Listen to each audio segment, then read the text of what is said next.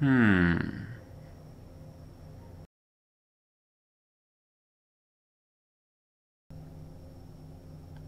Hmm.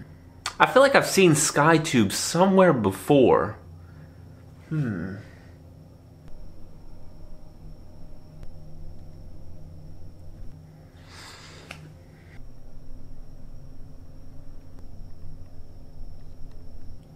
Yep, I did. Hey, what's going on? Builders KrowSama here. So this is going to be the first full figure from the Alphamax and SkyTube line. Uh, very unique. I, I never thought they would go this route, but it, I guess it kind of makes sense with the products that they do uh, push out. Uh, but this one in particular is a part of the Dark Advent line. Uh, so her name is Sophia. She is a, I guess, dragon dress. That's kind of like the either title or that's just kind of like the name attached to her. Uh, but it's really cool because she has like these armaments that are very dragon uh, base, so you know, hence dragon dress. Uh, but I really like like the horns on top of her head. Just the overall aesthetic is very like medieval, mixed in with a little bit of kind of like demonology kind of stuff uh, or demonic kind of uh, attributes. But she looks really cool, and I'm pretty excited to go ahead and you know see exactly what's going to come in the box.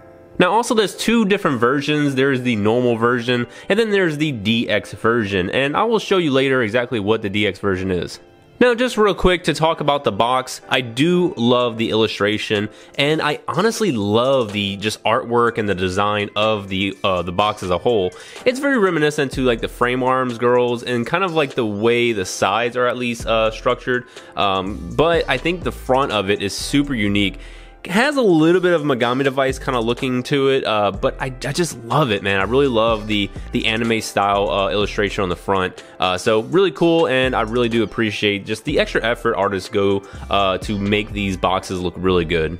Now this kit did come out today, or I think actually maybe Thursday over here, uh, so August, about 29th or 30th over here in Japan. Uh, it has gotten delayed. It was supposed to come out, I think, in the beginning of August, if not the end of July, uh, but they postponed it and they kind of pushed it all the way to the end of August. Uh, but, you know, regardless, I think there was like some kind of uh, error with the plastic, um, but whatever that case may be, I'm really happy that I still was able to get it. So this kit is going to be retailing for anywhere between like 75 to maybe 80 $85 online. Uh, in Japan, I think I picked it up for about 7,500 yen. Uh, but yeah, you're, you're going to be paying a little bit more than the original version just because it is going to come with extra little items. Now with looking on the side of the box, obviously, yeah, it's going to be... Um, it's gonna be different. We're gonna we're having a different route of uh, of model kits in this channel, and uh, you know I'm, I'm pretty much open to that at this point. But yeah, I think the one little kind of pose right here with the bazooka dragon head, I do think that looks really cool, and I love the kind of like arm, like sickle or uh, kind of knife that's protruding. I think that just looks really badass.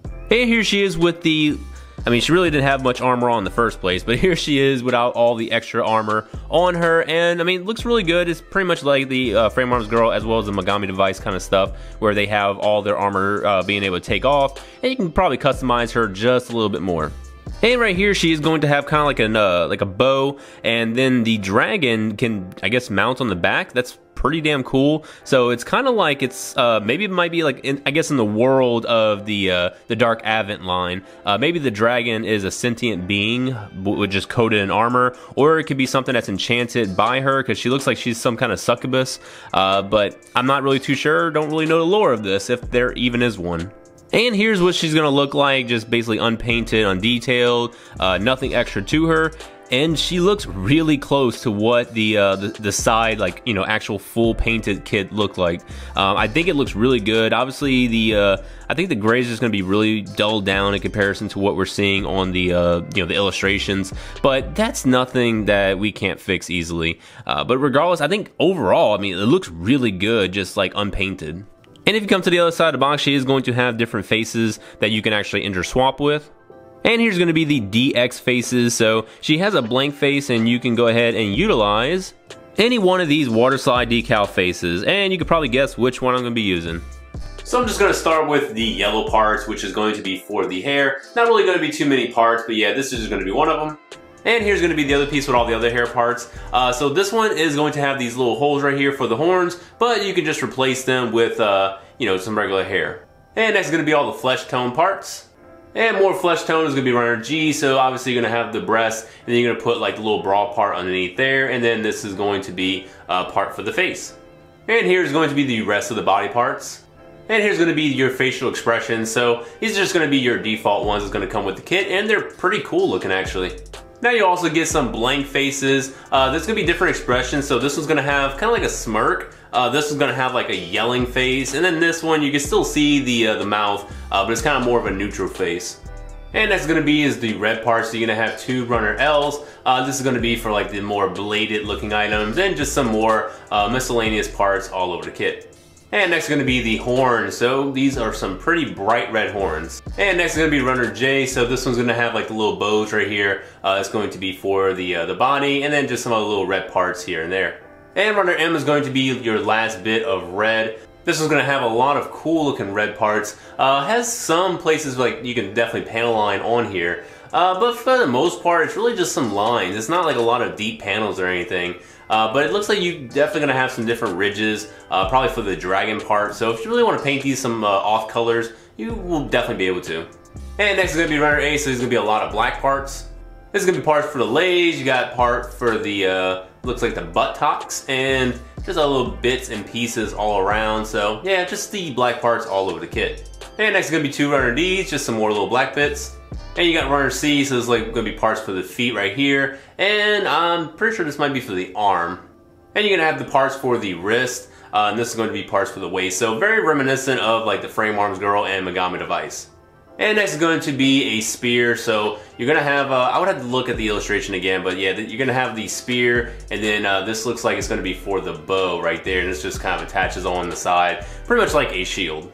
And next is to be Runner O. So this is some really good silver. Uh, I thought it was to look pretty bad when I saw the uh, the picture on the side of the box, but it's actually really nice. Uh, I would imagine if you just did some like maybe dry brushing or something, it would definitely bring it out just a little bit more. But overall, I think the silver is going to be really good looking on this kit. And next is to be Runner G, so you got more like bladed like objects. Uh, and just some other little bits that's going to attach. Uh, pretty much like the Megami device, I'm, I'm expecting that you can just kind of plug more stuff into uh, for more customizable uh, options.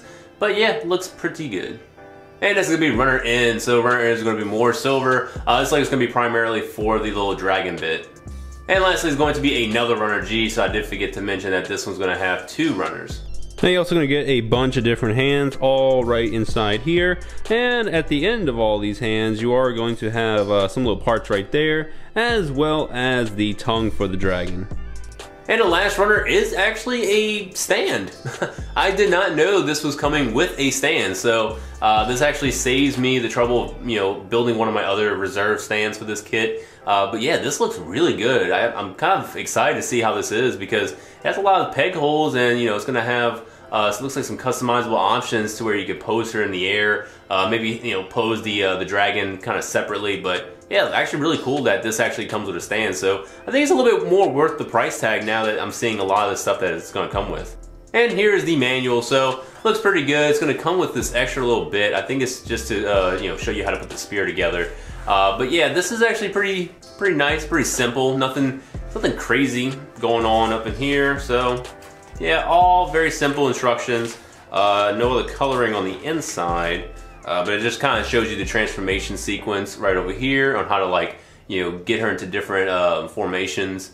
And that looks like to be about it. And then over here you get a nice, a nice shot of her all like decked out. Really, really loving this. I'm loving that like spear kind of thing, the halberd um, looking weapon on the back. I, I just think that is, man, this is really cool. I cannot wait to build this. And you got your color guide right up there and that's pretty much it. So let's go ahead and check out the, uh, the DX parts.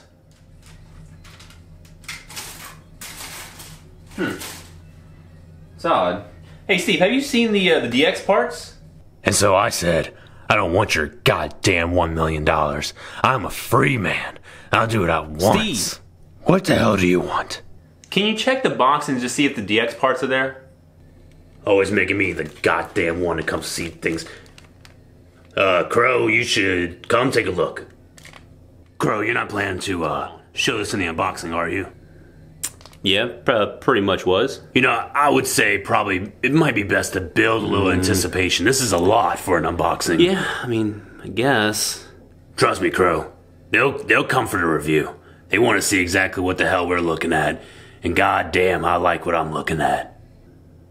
All right, yeah, I see your point. So maybe it would be better if we just saved it all for the uh, the review. So all right, uh, guess I guess that's it then, huh?